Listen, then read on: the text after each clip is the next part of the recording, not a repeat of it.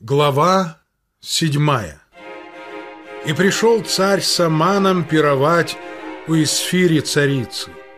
И сказал царь Исфири также и в этот второй день во время пира, «Какое желание твое, царица Исфирь?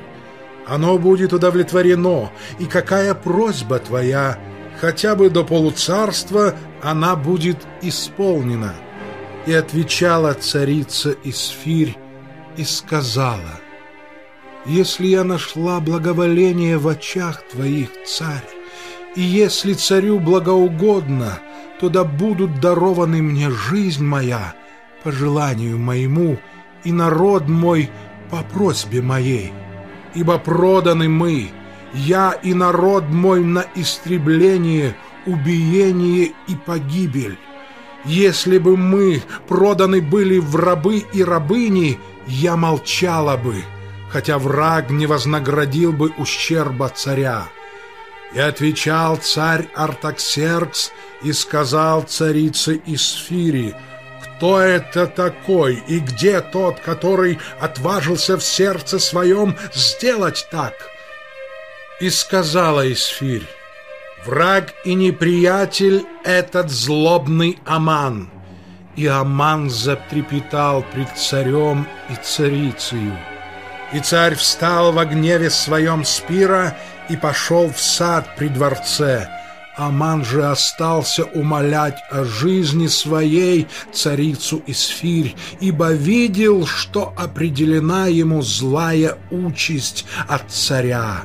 Когда царь возвратился из сада при дворце в дом пира, Аман был припавшим к ложу, на котором находилась Исфирь. И сказал царь, «Даже и насиловать царицу хочет в доме у меня». Слово вышло из уст царя, и накрыли лицо Аману. И сказал Харбона один из евнухов при царе, вот и дерево, которое приготовил Аман для Мардахея, говорившего «доброе для царя», стоит у дома Амана, вышиною в пятьдесят локтей. И сказал царь, «Повесьте его на нем». И повесили Амана на дереве, которое он приготовил для Мардахея, и гнев царя утих.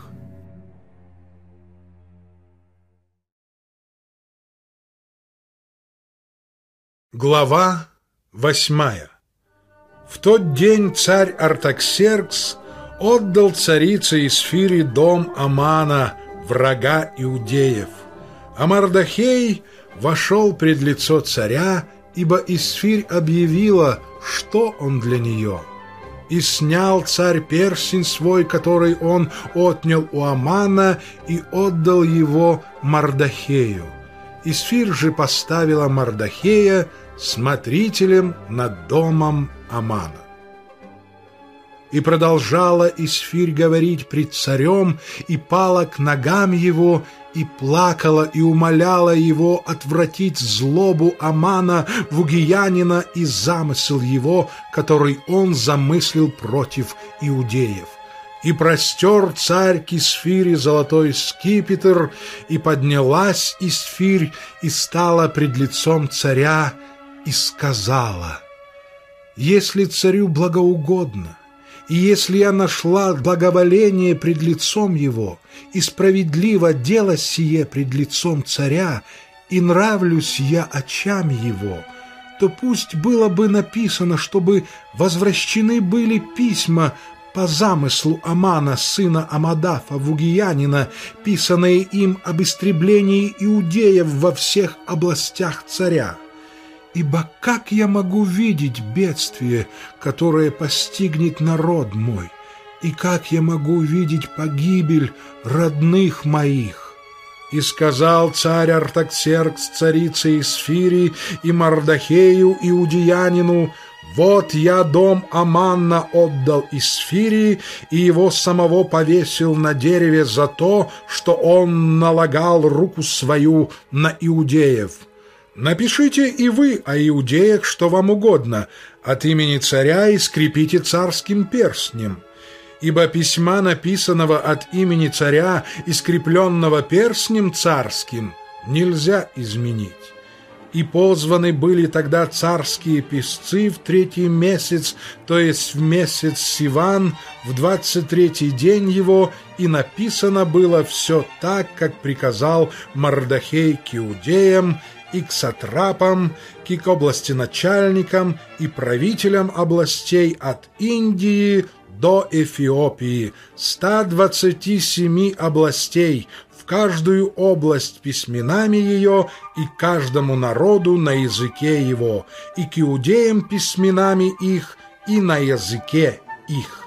И написал он от имени царя Артаксеркса и скрепил царским перстнем, и послал письма через гонцов на конях, на драмадерах и мулах царских о том, что царь позволяет иудеям, находящимся во всяком городе, собраться и стать на защиту жизни своей, истребить, убить и погубить всех сильных в народе и в области, которые во вражде с ними, детей и жен, и имение их разграбить, в один день по всем областям царя Артаксеркса в тринадцатый день двенадцатого месяца, то есть месяца Адара, список всего указа отдать в каждую область как закон, объявляемый для всех народов, чтоб иудеи готовы были к тому дню мстить